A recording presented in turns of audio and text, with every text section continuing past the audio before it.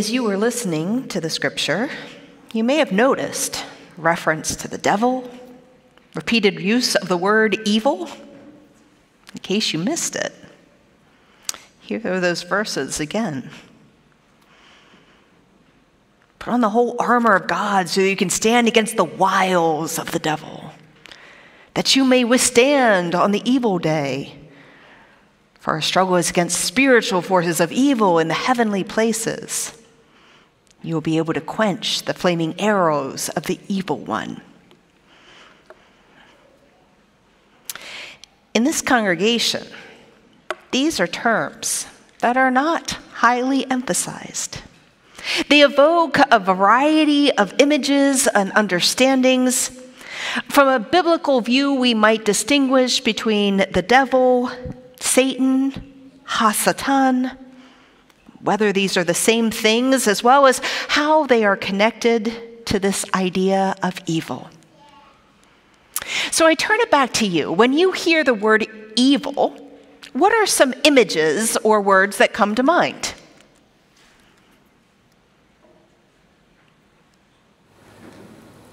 Can't say them in the sanctuary. Can't say them in the sanctuary. Wow, we should talk later.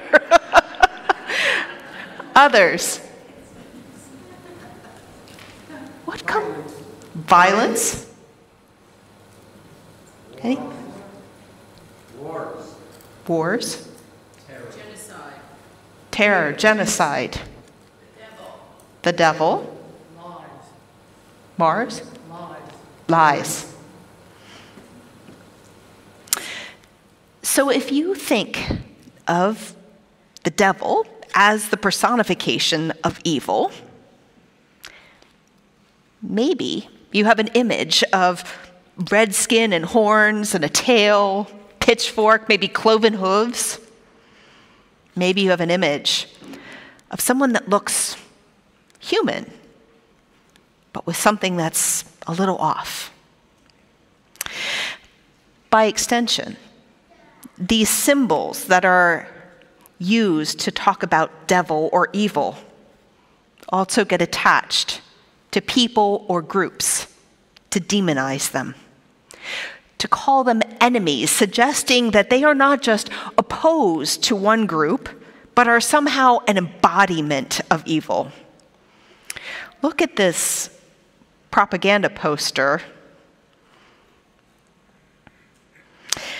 The Nabb Research Center, a humanities research laboratory at Salisbury University, says about this Russian poster the enemy of humankind depicts Kaiser Wilhelm II, the last German emperor and king of Prussia, who was largely blamed for World War I as a devil with cloven hooves holding human skulls.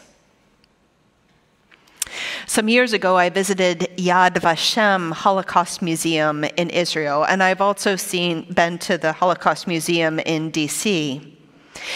And you can see a number of posters and artifacts like that linking the devil to, to Jewish people in words and images. Unless we think that we've moved beyond those tropes, a quick Google search reveals that they are still used today for one group to objectify, and demonize another. Whether it's based on the realities of religion, ideology, political affiliation, culture, race, sexual orientation, or any other form of identity. By multiple definitions, enemies are those who wish to do harm to us. And as people, we have long used this idea of evil as a way of describing enemies or those we see as different from us in terms of appearance or in belief. This characterization leads to an idea that it's not only acceptable, but a holy duty to vanquish what we have deemed to be evil. Now, what you all have named mostly, almost entirely, are not people, are not images, but ideologies. So the scripture for today, the, scripture for today has been used to justify a kind of crusade against evil forces. Ephesians, as you heard, says to put on the full armor of God to stand against the wiles of the devil. The descriptions of the belt of truth, the breastplate of righteousness, the shield of faith, the helmet of salvation, and especially the sword of the Spirit give an image that we should be ready to do battle against an enemy that is beyond flesh and blood and has cosmic significance. As is often illustrated, to stand firm takes on the steadfastness of a soldier with a single minded focus and a courage that has no room for doubt, hesitation, or fear. I don't know about you, although I suspect. But the words and images are hard for me to reconcile with a life of nonviolence. Even the description of the shoes ready to proclaim the gospel of peace seem out of place with imagery that is combined with tools and weapons used in battle. It helps a little that, with the exception of the sword of the Spirit, all the armor is for defense instead of offense. The weapon, the sword itself, is the word of God, and, and that word is about life, not death and light that shines in the darkness, not slicing its way through obstacles on its path to victory. But we are challenged, especially with images like this and words of Scripture, to consider how we engage in this Scripture and the realities around us in ways that are true to our faith and that honor our call to walk with Christ who told crowds to love their enemies and said that those who live by the sword will die by the sword. The Ephesians scripture is clear that enemies are not flesh and blood, but it still promotes an idea that a battle is taking place. It isn't waged against people, but forces in a time of darkness that is upon us. C.S. Lewis built on this idea in the Screwtape Letters. And Frank Peretti explored these verses in the novel This Present Darkness. It's listed as a Christian novel, but you could also have it defined under categories of suspense, horror, and fantasy. I first came across it when I was in high school, and I recognized the scriptural reference of this present darkness. But the storyline of angelic forces doing battle with demonic forces and the ways that they influence people in positive and negative ways went far beyond Scripture. From both literary and theological perspectives, the writing saw the world in stark contrasts of good and evil. From the book's perspective, weak people are influenced by demonic forces, and strong people, at least strong in faith, are influenced by angelic forces, and they become heroes. Neither the novel nor its sequel have much indication or possibility that people are more complex than either or, or that we might be combinations of a variety of motives. While giving room for free will, God, through angels, is doing battle for people to be saved from destruction from a faith perspective. I question then and now this understanding that God uses the tactics of war to bring life and peace. As we continue to explore the principles of Kingian nonviolence, remember where we've been because they build on each other. Here are the first two principles again. Nonviolence is a way of life for courageous people. And two, the beloved community is the framework for the future. And today, attack forces of evil, not persons doing evil. Training materials that we had for those who were part of the, the 16 hour training include the nonviolence approach, helps one analyze the fundamental conditions, policies, and practices of the conflict rather than reacting to one's opponents or their personalities. The connection to the Ephesians scripture, especially verse 12, seems obvious. King framed his response to those who opposed civil rights as persons whose actions were evil, but who were nonetheless made in God's image. His commitment to nonviolence and agape love were so strong that he refused to use violent words or actions to denigrate them, even when it harmed him. When he was struck or jailed, he didn't strike back or fight to gain freedom. And in his sermons and writings, he consistently called for people to address the evils of racism and other injustices without resorting to words of hatred for people. In the Kingian nonviolence training, righteous indignation is directed at conditions instead of at people. Actions address the evils of isms that you all have named, that tear apart God's beloved community instead of dividing people into camps of the righteous and the unrighteous.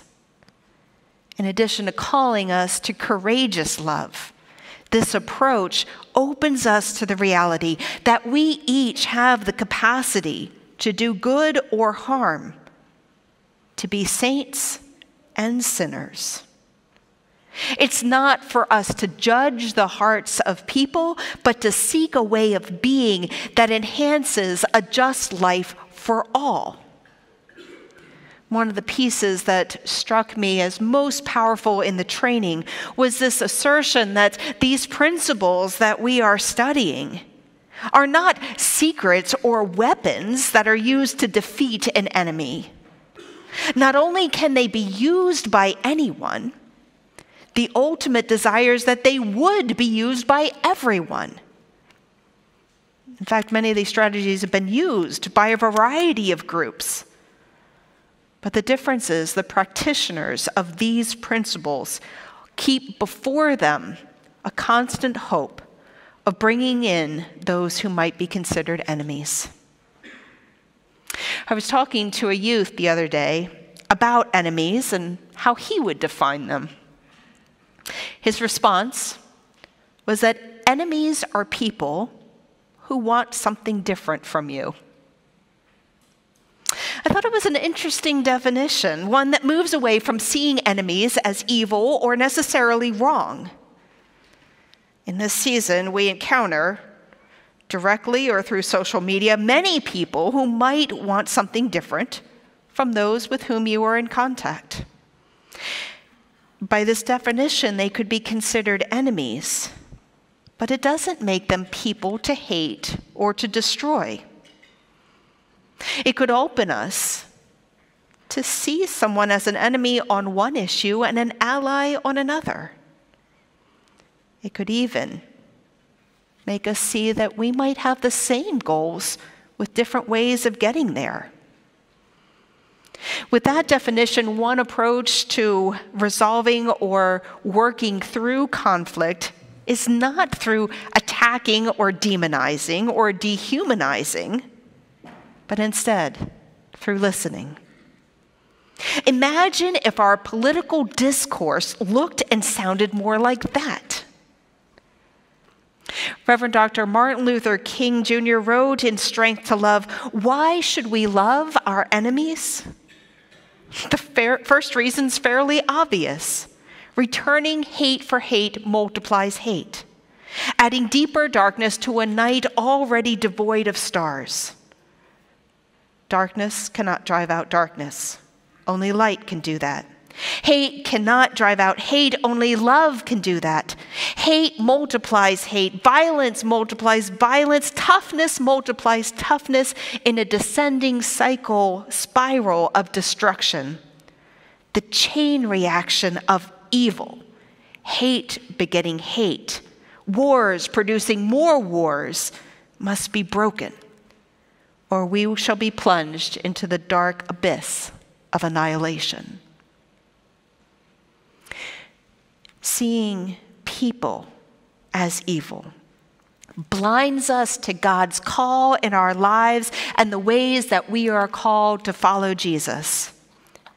In John's gospel, as Jesus was sharing final meal with the disciples, the narrative says the devil had already put it into the heart of Judas, son of Simon Iscariot, to betray him. John's gospel doesn't have a story of Jesus being tempted in the wilderness. But Judas here is portrayed as being influenced by evil. And even so, John washed, Jesus washed his feet. Did not call him out for violence, did not curse him, did not do this for anyone who came to arrest him. In fact, he said, Do not take up arms on my behalf.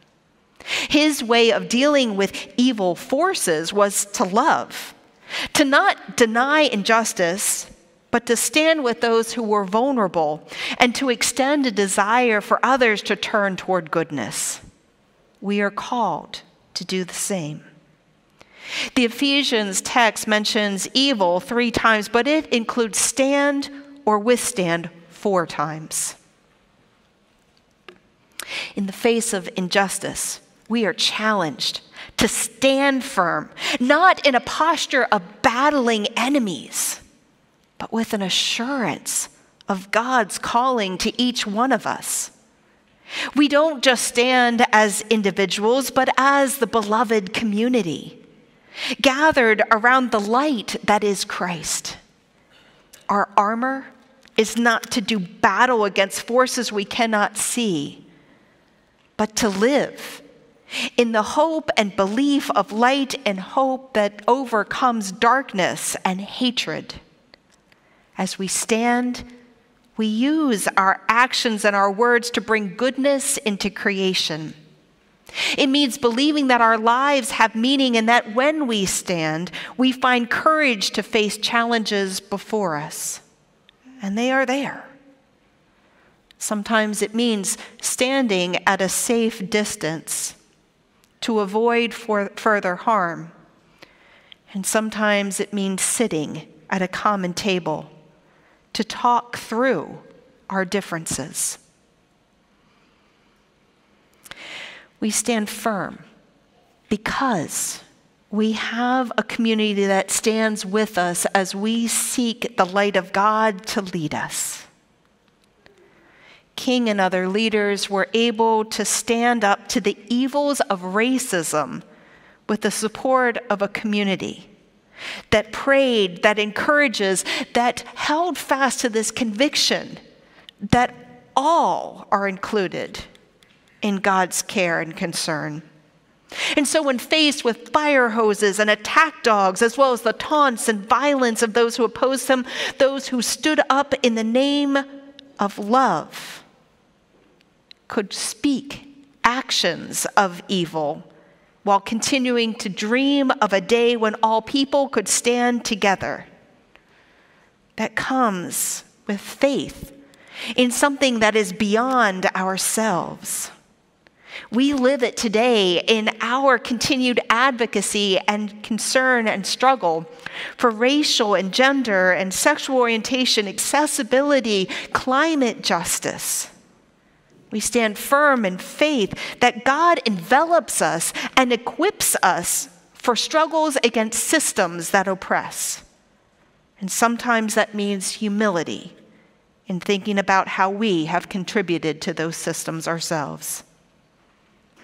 It begins in the ways that we speak blessings for the innocent and the vulnerable, and for the ways that we avoid the us and them language.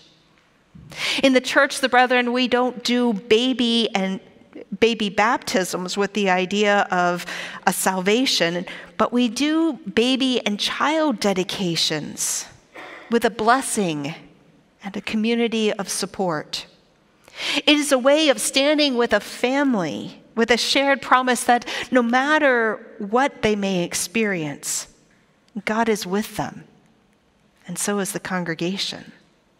As children grow in the congregation, as others join as youth or as adults, we continue to expand this circle, not only looking inward, but looking beyond to include those who might be willing to join.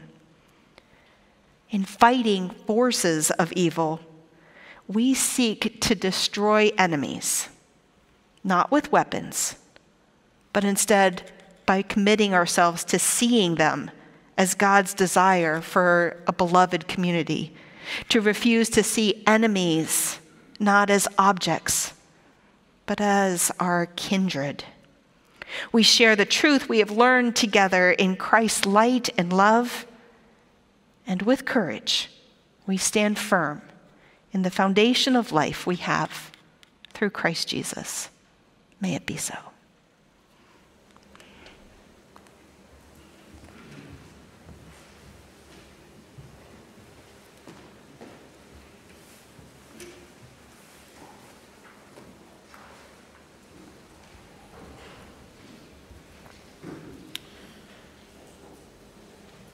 I am sure that I am not the only one present today who can remember 1968. That was a very interesting year for our country. In January of that year, the Tet Offensive was launched by the North Vietnamese, creating a turning point in an unpopular war. In March, the My Lai massacre took place in South Vietnam a horrible stain on the American military. On April the 4th, Martin Luther King Jr. was assassinated. And as you know, we are studying his principles of nonviolence. On January 5th, Robert F. Kennedy was assassinated. And throughout that year, protests against the war in Vietnam became increasingly common and at times violent. Not everything in 1968 was bad, however. For example, on May the 13th, I was baptized into the Church of the Brethren to begin my journey as a member of the church. And I still remember Christmas Eve of 1968 when my family was watching on television in preparation for the candlelight service at the Ephrata Church of the Brethren. And we watched with amazement as the Apollo 8 astronauts became the first humans to circle the moon sending breathtaking images back to the earth. All of this is to say that change is a constant thing. Some changes are negative, some are positive, and sometimes it might depend on how we react to it. Our congregation has gone through many changes over the years. One of the more recent changes involves the use of technology to extend our ministry beyond these physical walls to include a sizable online congregation. My wife and I worship weekly with this church, but most of the time we do so online.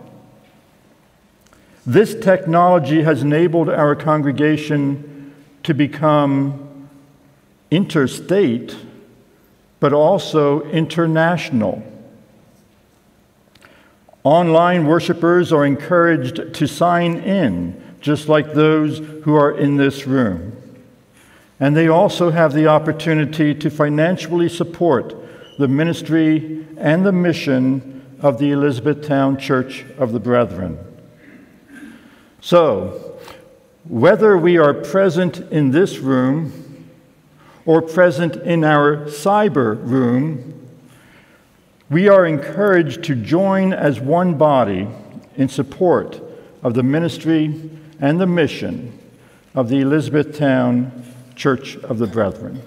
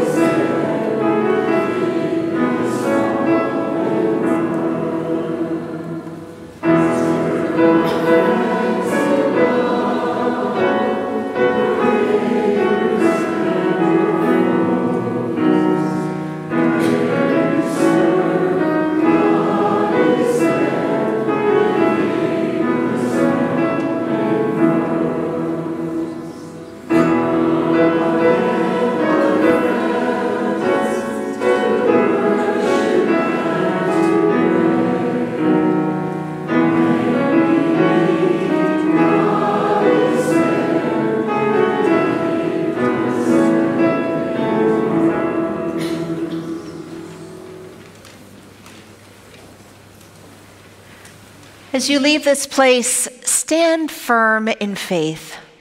Hold one another in prayer. Gather in community.